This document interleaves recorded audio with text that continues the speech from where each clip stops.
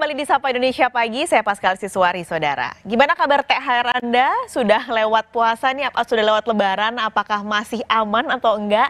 Nah ini selalu jadi masalah tiap tahun sebenarnya THR yang sudah diberikan, tapi kok ujung-ujungnya tetap boncos. Gimana caranya supaya kita manage baik THR, apalagi sekarang berturut-turut nih tanggalnya deketan dengan gajian. Kita akan bahas pagi ini bersama perencana keuangan Save Finance Prita Gozi. Halo Mbak Prita. Halo. Ini sebenarnya masalah klasik ya. Pertanyaannya selalu terulang setiap tahun.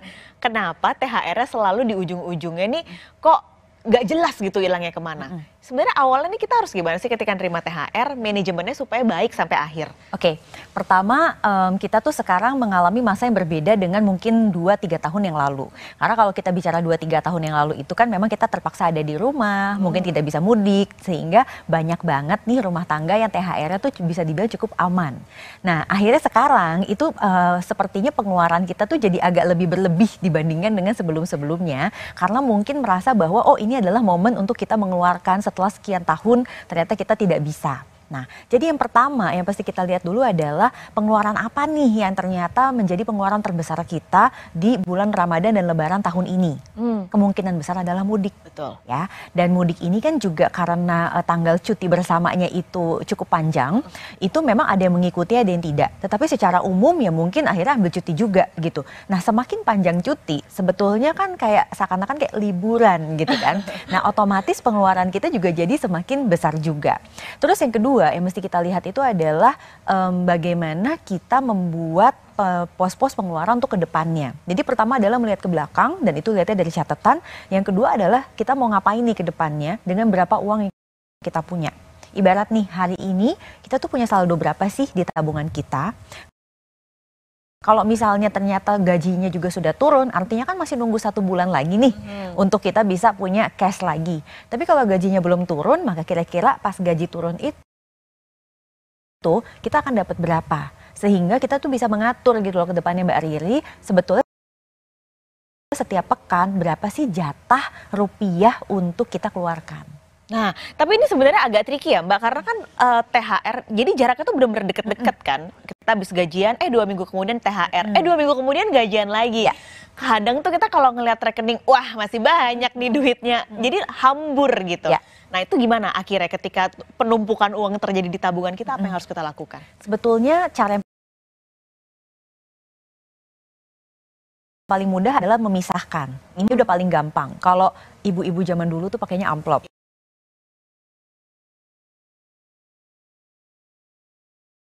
Ya. Tapi kalau zaman sekarang kan kita udah digital. Jadi sebetulnya kita bisa banget nih memisahkan paling nggak ketiga bagian. Aku sebutnya adalah living, saving, playing. Nah sekarang kita berbicara living dan playing karena sebetulnya itu dua adalah pengeluaran. Oke, living ini biasanya aku akan eh, sarankan untuk pakai eh, rekening yang memang kita gunakan untuk bayar listrik, terus tagihan-tagihan. Jadi sesuatu hal yang sifatnya memang sudah rutin kita lakukan. Ya udah, kita taruh aja di situ sekitar 50% dari penghasilan yang kita punya.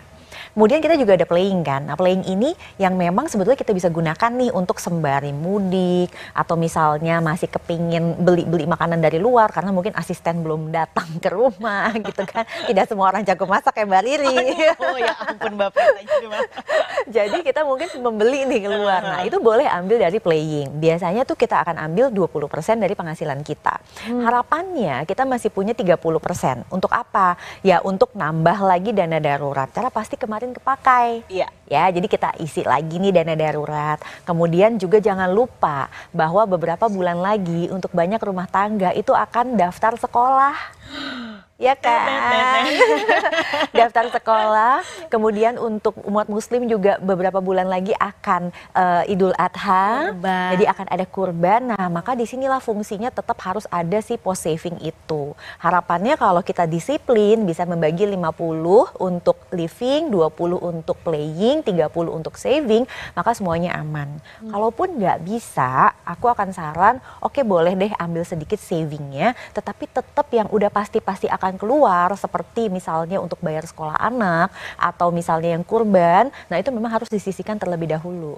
Oke, jadi memang kita harus bikin list dulu ya Mbak di Hmm. awal. Yang eh, bakal kita selama bulan-bulan ke depan itu yang pasti wajib akan keluar, Mm-mm. itu yang nanti harus disisihkan dulu berarti Betul. uangnya. Dalam bentuk berarti tabungan atau kita bisa simpen aja supaya nggak ke mana-mana atau bisa diinvestasikan sih Mbak? Oke, kalau penggunaannya itu masih di bawah enam bulan atau bahkan satu tahun, sebenarnya saya nggak saran diinvestasikan Mbak Riri. Kenapa? Karena ada potensi dia bisa naik turun kan. Apalagi kan sekarang eh, bagaimanapun perekonomian kita tetap terpengaruh global gitu Iya. ya. Jadi em, itu sebetulnya agak sedikit resiko nih kalau kita taruh di bentuknya investasi. Jadi yuk kita mungkin taruh di bentuknya yang lebih em, bisa dibilang secara kapital tuh aman. Contohnya seperti misalnya deposito atau misalnya reksadana pasar uang atau kalau Anda kemarin punya uang ditaruh di SBN retail tapi di SBN retailnya itu yang tradable. Jadi yang bisa dicairkan sebelum jatuh tempo. Nah, itu sebetulnya menggunakan aset-aset tersebut itu tuh bisa membantu kita banget untuk at least menahan diri nggak dipakai tapi juga kita ngerasa lebih nyaman karena modalnya itu tidak akan fluktuatif naik turun. Oke, dibanding memang ditaruh di pos-pos investasi yang kita nggak bisa nebak tiga bulan lagi nilainya, Yes, betul. Jadi akan gambling sebenarnya kalau kita masukin. Betul, jatuhnya jadi kayak spekulasi ya. Kalau penggunaannya memang sudah hampir pasti akan digunakan mungkin di bulan Juni atau misalnya di bulan Juli. Nah, itu jadi spekulasi tuh kalau kita taruh di saham misalnya. Hmm, nah makanya itu. Tapi kalau berarti uang yang harus kita Kalau dibilang eh, masih memungkinkan dari THR karena itu sifatnya adalah pengeluaran yang tidak rutin, maka bagusnya dari THR Oke. a- atau bonus. Hmm. Tapi kalau misalnya THR kan memang tunjangan hari raya ya. Artinya kalau misalnya kita nggak bisa menyisikan THR lagi karena sudah terpakai, ya berarti next thing-nya adalah gaji. Karena kan dia udah akan turun nih. Kecuali kita dapat bonus. Kalau kita dapat bonus Mbak Riri, berarti dari bonus boleh. Iya. Tapi kalau kita bonus juga nggak ada gitu atau tidak turun di bulan ini, ya berarti mau tidak mau harus ambil dari gaji eh, bulan tersebut. Oke.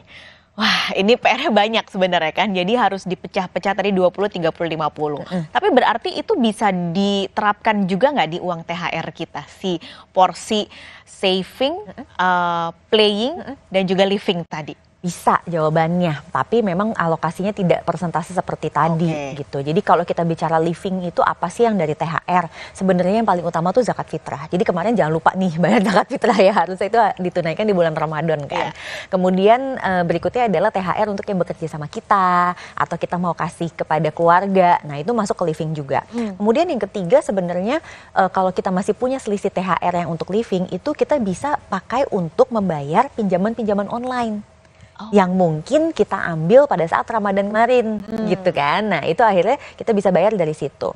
Kalau savingnya tuh apa? Biasanya saya akan saran untuk dana darurat. Dan kemudian saya juga akan saran untuk top up investasi kalau memang eh, masih banyak banget nih sisa THR-nya. Nah, playingnya apa? Nah, playingnya itu sebetulnya ya mudik dan kebutuhan lebaran. Oke. Iya, karena memang THR itu kan tunjangan hari Iya, raya iya, iya, gitu ya. Jadi em, kalau memang kita adalah keluarga yang akan mudik Mbak Riri, ya nggak apa-apa dipakai selama kita menggunakannya sesuai dengan THR yang kita punya. Nah, harus tetap ya kembali lagi bahwa sesuai jangan besar pasak daripada tiang. Iya. Ini menarik karena ternyata ada pos-pos lain yang bisa dipakai seperti tadi bayar pinjaman online, lalu bisa invest juga. Tapi yang saya bikin penasaran adalah ada bedanya nggak sih uh, pengaturan untuk yang dapat THR double dari suami istri sama yang satu. Tapi jangan dijawab dulu Mbak Prita, kita akan jeda sejenak. Saudara jangan ke mana-mana. Sampai Indonesia Pagi akan segera kembali.